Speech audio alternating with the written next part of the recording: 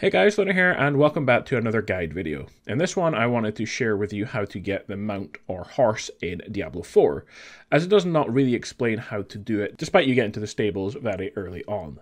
The mount will let you travel the world much more quickly, and so it's worth getting as soon as possible. Let's take a look. Now to get the mount, you simply need to play through the main story. Unfortunately, you don't get the horse until the very start of Act 4, where you speak with Donan in the Temple of Light. He will then just casually mention you don't have a horse and to speak to the stable master to get one.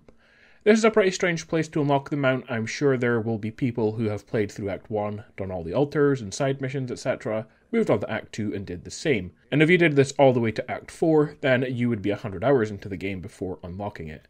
Now, I've already tried for you, but you cannot simply play through Act 3 to unlock Act 4 to get the horse quickly.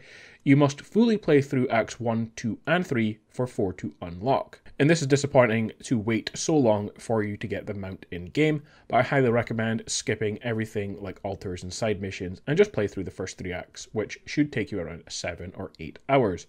Then enjoy the game once you have the horse. So, like I said, in Act 4, simply speak with the stable owner after you've talked to Donan in the Temple of Light, and it's the second thing you do in that mission. Guys, that is it, how to unlock the mount in Diablo 4, as the game doesn't really explain it to you, and unfortunately, you have to play a chunk of the main story in order to get it. Like and subscribe for more Diablo 4 guides, and I will see you in the next one. Bye. I cannot do that here.